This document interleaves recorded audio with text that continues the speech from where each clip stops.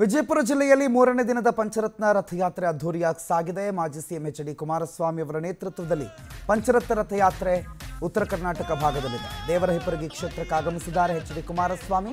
H D Kumaraswamy ಅವರಿಗೆ ಮಹಿಳೆಯರು ಭರ್ಜರಿ ಸ್ವಾಗತ ಕೋರಿದರು. ಪಟ್ಟಣದ ಶ್ರೀ ಮಲ್ಲಯ್ಯ ದೇಗುಲದಲ್ಲಿ ವಿಶೇಷ ಪೂಜೆ ಸಲ್ಲಿಸಿದರು. ದೇವರ ಹಿಪ್ಪರಗಿ ಪಟ್ಟಣದ ಅಂಬೇಡ್ಕರ್ ವೃತ್ತದಲ್ಲಿ ಬಹಿರಂಗ ಸಭೆ ಕೂಡ ನಡೆಸಿದರು.